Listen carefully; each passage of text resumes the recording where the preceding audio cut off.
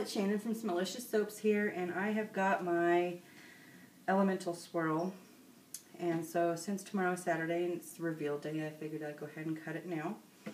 And from what it appears on the side, it looks like my uh, mica line shifted, so I'm a little worried about what it's going to look like on the inside. This side's even worse than that side. But I guess we can only tell if we cut it, right? So here we go. Going to cut off a little end slice.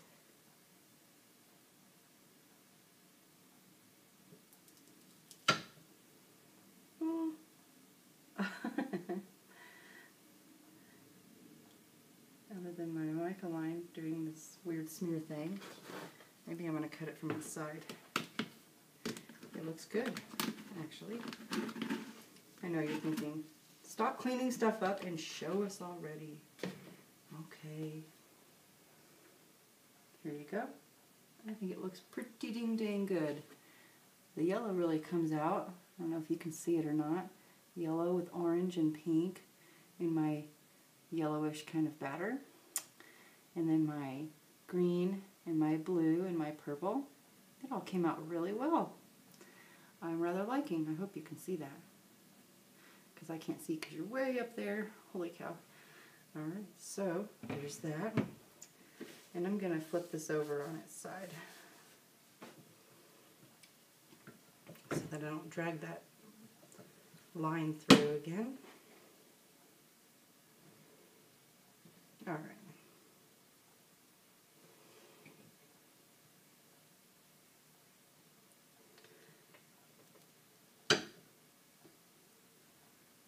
That's better. Oh, oh, that's nice. It's got this weird, like, bumpy texture to it. I don't know what to think about that, but it's cute. I like it. I like it a lot. It's very nice. I hope you guys can see that. I kind of hate filming like this, but...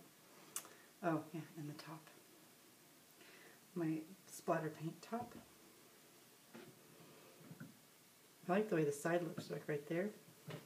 This kind of weird purple and I like it. And this is really pretty right here. if I do say so myself.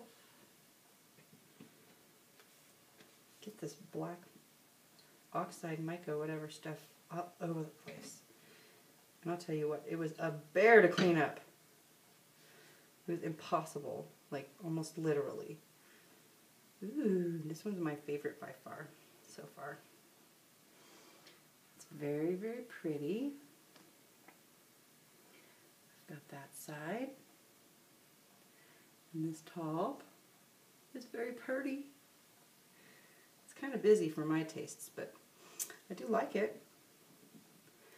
I'm more of a simplistic kind of person. I like two colors is nice. Six is kind of uh, pushing my boundaries for, I don't know. Anyway.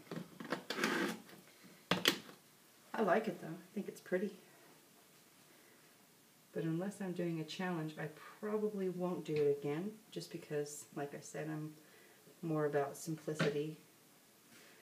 And not simplicity so far as just less busy, I guess. I mean, this really reminds me of the 60s. Maybe next time I do like a patchouli-based fragrance, I'll do this.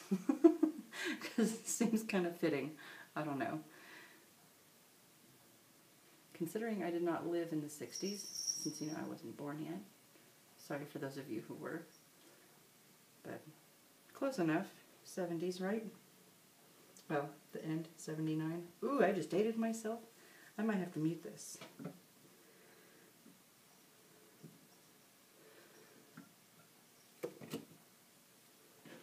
All you youngins out there born in the 80s and 90s, I don't want to hear it. Okay? Because when you were still crying for your mommies, uh, I definitely was not. Because, you know, teenagers who just said, oh, look, there goes my mica line. Right in the middle. Ding dang. Well, I guess it was bound to happen at some point. Still pretty good right there, though.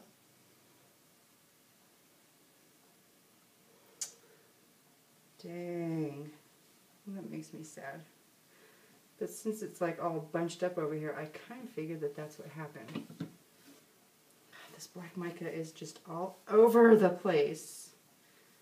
I hope once it cures it doesn't do this. Because that is really obnoxious. Might be the last time I use that for like a line like that. Ugh.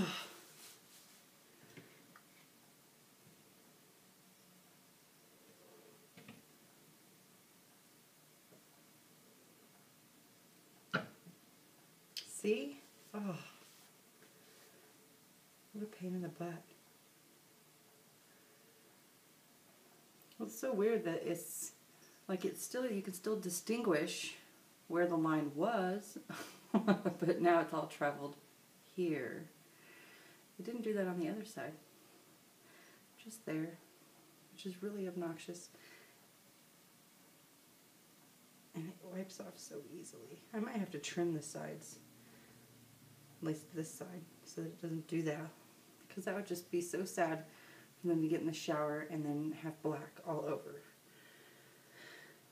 Because I think that's exactly what would happen if I left it like that. But there's my swirl. Very pretty. I'm liking it so far. Except for the black all over the place. I have such a thing about having my hands clean. Which is a good thing I make soaps, right? Because if my hands feel dirty, regardless of the fact if they are dirty, I have to wash my hands, which means in the summertime, because you're sweating and all that, and because my hands swell up with the heat, I end up washing my hands so much that they end up cracking. So it's a good thing now I know how to make uh, like lotions and body butters and stuff.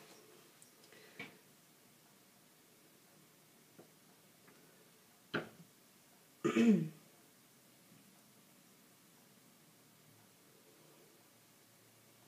will the line come back? Maybe never, huh?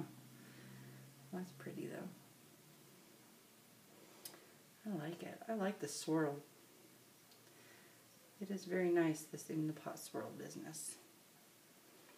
Purdy, purdy. I like it. Watch, I'm going to be watching this video, ready to upload it, and like none of my shots of my soaps are going to come through. I'll have to like do a post-cut video instead. Now instead of black oxide or mica, whatever this stuff is, I am getting glitter everywhere. Whoops, back, back.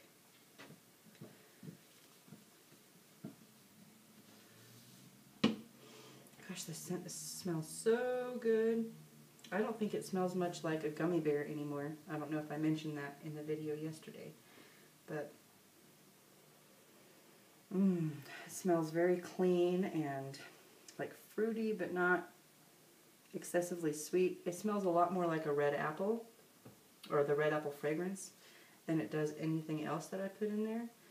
But because it's a blend of a bunch of different things, it just smells so clean. Like it's not over sweet.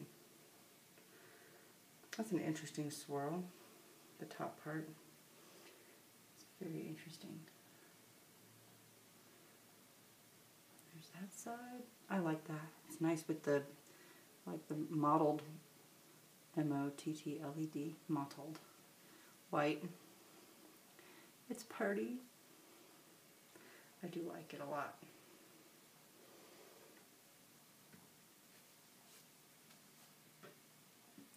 And last cut.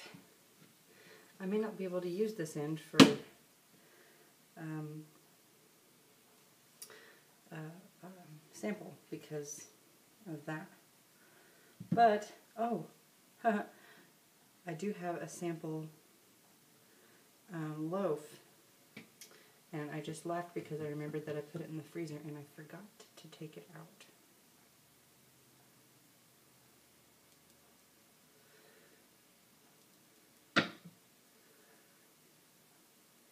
There's the sort of sample. I don't think I'm going to be able to use this. Unless I can clean off all this oxide off of here. I don't think I, oh, you know what? Look, I can see soap underneath. Look at that. See? I don't know if you can see, but I can see it. I might be able to use that as a sample piece. Yay! Oh, this drives me nuts. Okay. And last piece. And there you have it. There we go. And the last top. So there we go, my elemental swirl. It turned out quite nicely considering that was my very first try and I was very freaked out. I actually might go get my sample one and cut that just to see what it looks like. Anyway, I will see you all later. Bye. Thanks for watching.